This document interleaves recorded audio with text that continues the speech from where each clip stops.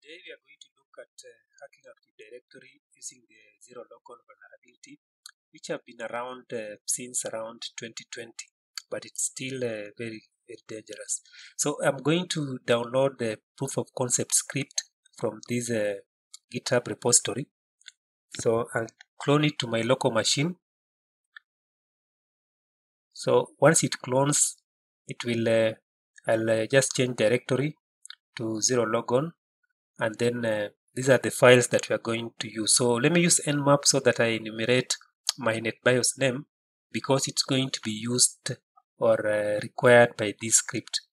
So just give it a second there to enumerate. Right, so we can see that it's an Active Directory. It has uh, the NetBIOS name and the NetBIOS name that uh, we require is this. So I'll just copy this to my clipboard and then uh, the script that I'll require for this is set underscore empty underscore pw.py. So Python 3, the name of this script, set empty pw underscore py, paste the NetBIOS name and then the IP address of your domain controller. So once you do that, it will tell you uh, that it has succeeded. So this is the command that you need. So going back to that uh, repository, the next thing that we need to do is uh, dump the hashes for the Active Directory admin. So the script, the next script that you'll need for that is highlighted. So I'll just paste it in my machine. And then uh, for the domain, I'll use uh, what I enumerated with nmap. So I'll just remove this and put my domain name and then uh, domain that. And then uh, for the NetBIOS name I'll just copy this.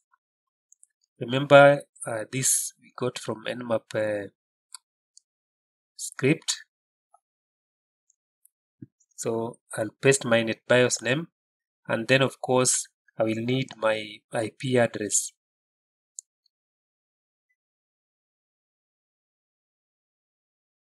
So once I hit enter, I'm going to get the the hash for the domain admin and then I'm going to use that hash to log into my domain controller and uh, effectively take control of that machine. Alright, so it tells you dumping domain credentials, uh, Kerberos keys have been grabbed, and then it gives you a list there of the users that are available in that server. So we have uh, the administrator. And then if you look down here, we also have another user called Were, but we are not going to uh, log in with that user since we already have the admin. So just use the WMI exec to log in with the hash from the previous screen. So I've logged in. And to confirm, I'll just uh, type who am I so that I'm sure that I am uh, the domain admin. So there we go, and we have uh, taken that machine.